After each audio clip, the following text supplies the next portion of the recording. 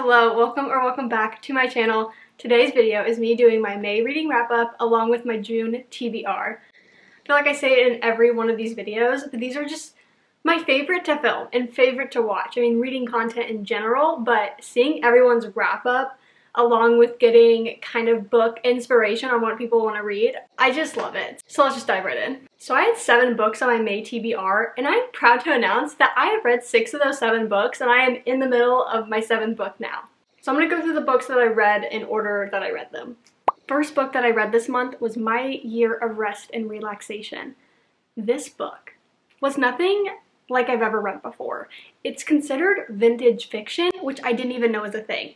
It's following this young, thin, beautiful, recent Columbia graduate where she, you would just think that she has everything, right? She has this perfect world. Look at her, she's gorgeous.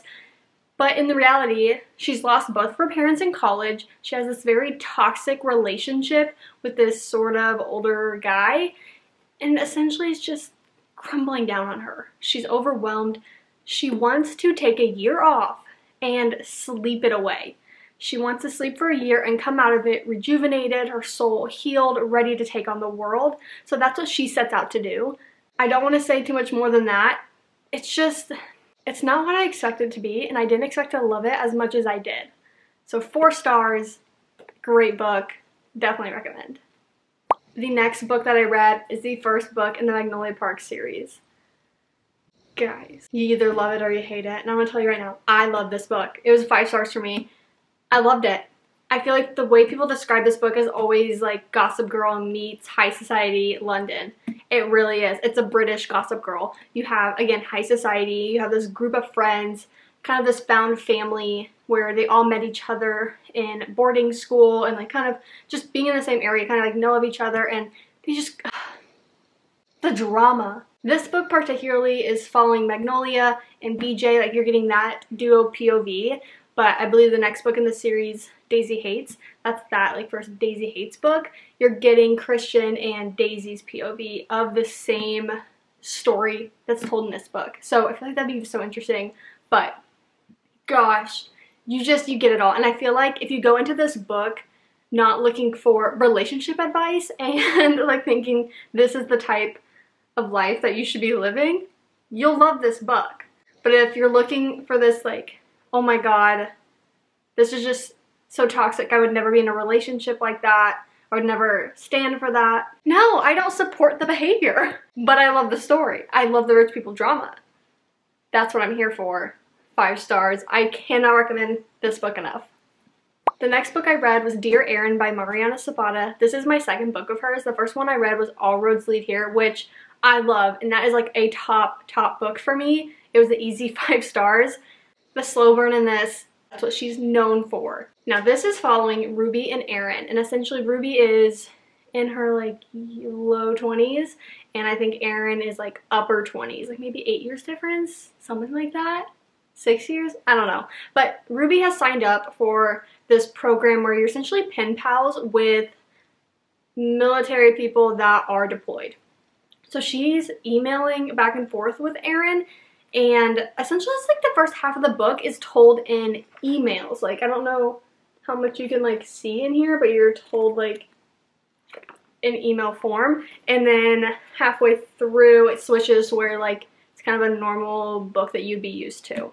It was so good. Like you're really seeing these people just open up to each other and have like this I want to say like more relatable type of relationship because I feel like a lot of people this day and age are meeting people online and you have this like chatting relationship before you're like ever able to meet in person.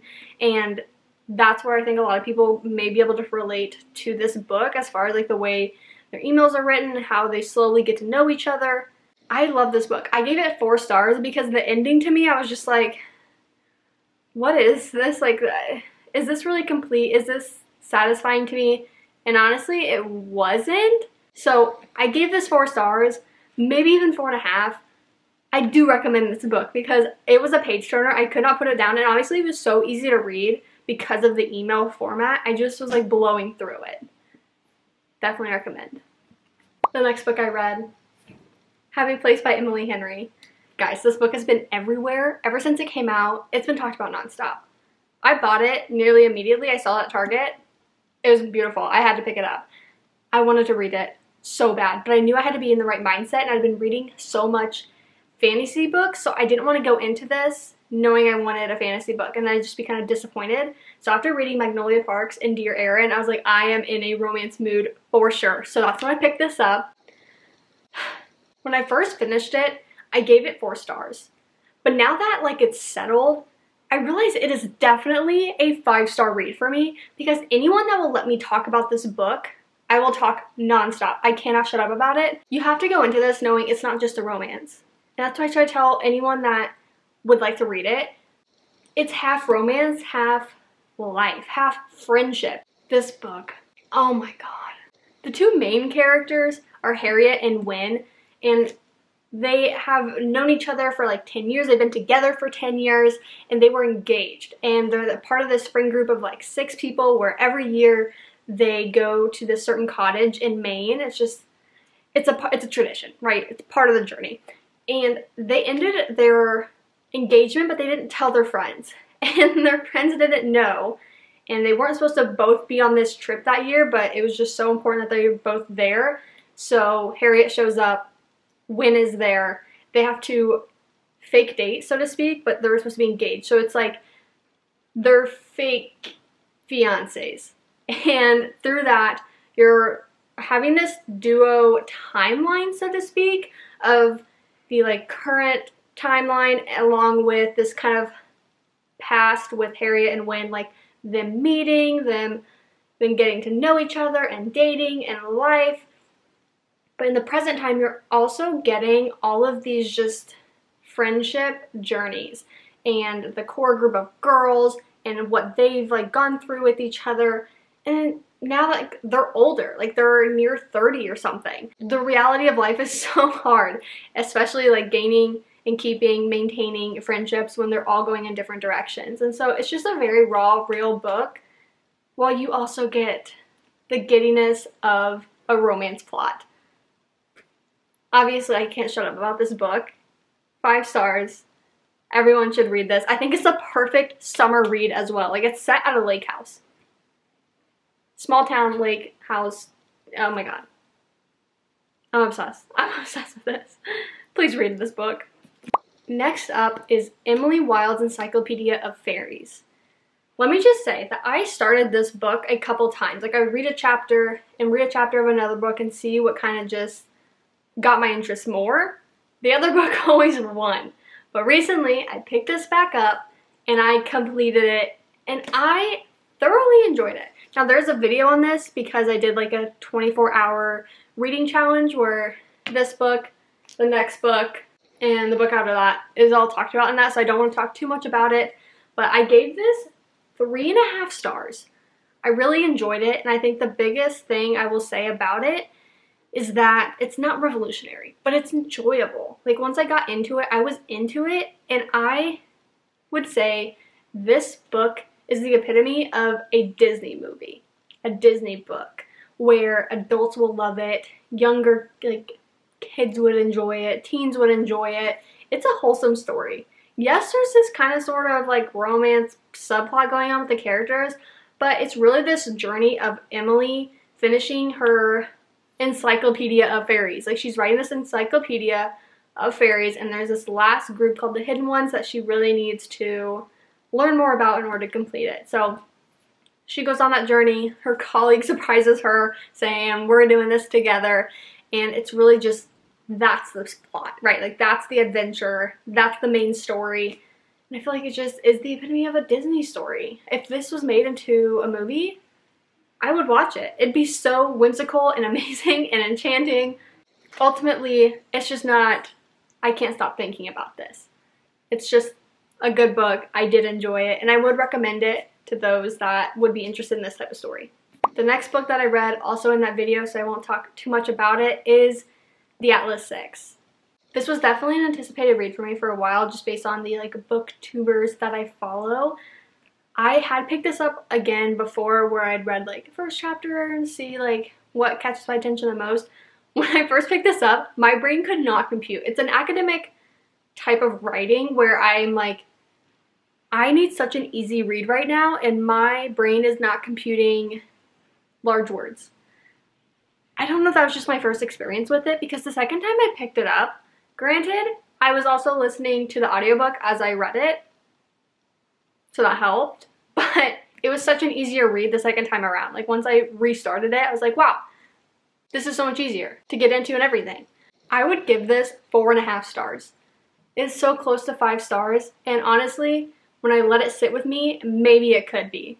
I don't know how to explain it because I really, I really love this book. It's following six characters who essentially have these abilities, like these magical abilities, and five of those six will be admitted to this Alexandrian elite society. You're getting all the POVs of these six characters, which is at first kind of intimidating to think about, but it's so well written and so easy to understand and follow, and especially with the audiobook, because they had different narrators, like female and male, that kind of just helped break it up. That first year, only five of six will make it beyond that. Only five of six will be actually initiated into the society. So this first year is what we're following here. And then there's a second book out, and then the third book is on its way. So I don't want to talk too much about it because, like I said, I talked more about it in that video, but I really, really, really enjoyed this book and I definitely recommend it to people, but I definitely recommend listening to the audiobook if you can. I just had it on my Libby app through my library, but do that. Do that because I think that'll make it just so much easier to follow and enjoy the Atlas 6. Definitely recommend We'll Be Buying the second book. Okay, now it's all the books that I completed in May. But I do want to throw this in because I do mention it in that next video as well, the 24 hour challenge. But I've started the final book on my May TBR list, which is A Court of Mist and Fury. It's the second book in the ACOTAR series. So I can't really say anything about this because it's the second book and I don't want to spoil anything from the first. But all I can say is I really enjoyed the character development so far in this and character actions in this book make me think back on the first book and think like, wait, what did that really mean then in the first book? Or what, what was that character really trying to do and say in that first book if this is how they're acting now or this is what they're saying now? It's so good. You're getting introduced to more characters, more courts. I'm enjoying this book. Okay, I just went and got all the books that I want to read in June. These are essentially the books that I'm going to try to pick from, but who knows because I'm a mood reader. But I want to get through these very summary books in June and July just because the vibes are there, right? That's what we want. Okay, so I'm not going to go through the plot of these because I like to go into them more blind and I'd rather discuss the book after I've read it and be able to talk more on it rather than just like reading the synopsis on the back. First up is the roughest draft. I mean, hello. One, it's pretty. Two, they're literally in a pool. Can't get more summer than that. I can't believe I haven't read this book. Beach Read by Emily Henry and After Happy Place. I've just heard so many good things about this book, so definitely looking forward to this. This is a priority. Then I have Once Upon a Broken Heart. I've been meaning to get to this and then I just haven't. So I've gone through other books that I was really anticipating this is next up. This will be a nice like kind of fantasy breakup if that's the mood that I'm in. Very excited about this one. Then I have the Spanish Love Deception. Now I know that this is set primarily kind of New York to Spain, so figured Spain is kind of summery and on the front like she just looks very like summery vibes. So I feel like this is just gonna be a good romance book to read. Next up is literally Summer in the title called One Italian Summer. I do know what this is primarily about, but I think this is just gonna be so good. Like one, this cover is stunning, but two, Italy, summer, the vibes are there. Then I have the second Bridgerton book. I don't know what it is. Like, I got this, and I have to just be in the mood for it, but it's the Viscount Who Loved Me. I loved the second season of Bridgerton. When I started it, I binged it straight through. I loved it. And so, that scene, though, Bridgerton in general, gives very summery vibes. Like, I don't know how to describe it, but I mean, if you watch the show, it gives it. Like, the sunny... I just, yeah. I think I'll really enjoy this once I just get into it. And I feel like it's to be a very quick read because that's how I felt about the first book. And then just to throw it in there, I obviously want to finish this, A Court of Mist and Fury. It's on the list. I'm already started it. Like, it's there. Okay, that completes my May reading wrap up along with my June TBR. Can I just say how much I love the book community? Like, I really don't enjoy social media, like the toxicity of it, but the book community across all platforms is just so creative and inspiring and calming, and it's just, it's so much serotonin. To the point that I finally created a bookstagram. I do not like Instagram. I don't like the toxicity of just people posting their life on Instagram and everyone's comparing and it's about likes and comments and followers. I hate it. I hate it so much. But every book account I have found I'm just like, this is so, I, it makes me happy. And I'm always posting my pictures that I take and want to post on Pinterest. Like that's just my non-toxic platform that I just love. Who cares if anyone looks at it? It's just a board that I can share all the photos that I take. And I do post book photos, aesthetic things there. But I really wanted a place like Bookstagram. Like I just really love that community. So I did it. It's called Bookmarked by Jaycie, and I essentially came up with that name because I obviously wanted a book term and my name together and the username, but when I'm on Pinterest or the internet or just anything I come across that I love and I want to save, I save it. I screenshot it. I save it for later so that I can look back on it and I'm like, oh, I want to, like, I save some picture I know from an outfit or maybe it's food or whatever it is, I save it for later. And so that's that term in my head of like you're bookmarking something. That's where it came from. I want my account to be like that for anyone else. So that's where it came from. I also created a separate Pinterest account for it because I like my Pinterest account that I have, but I want like the book thing to be separate because I have my life Pinterest that's just like hair, makeup, outfits, food, whatever, and like my life of a board and my future, you know, like all the things. And then I wanted like a book one where I can make boards of like if I'm like, oh my god, I love the Atlas 6 aesthetic, I can make a board dedicated to this type of aesthetic, which is like so like dark academia magic. I love it. That's the idea behind it. So I created that. I put it out today. I created my first post. Oh, it's just so fun. It's like a passion project for me. I think this is like the direction I really want to go with like my content and I love it. I think this is just what makes me the happiest. So I'm going to have everything linked below and everything in case you're interested and want to follow it. This is so awkward, like plugging your stuff, but there it is. It's out there. With that, I'm finally done talking. Thank you so much for watching and I will see you in the next one.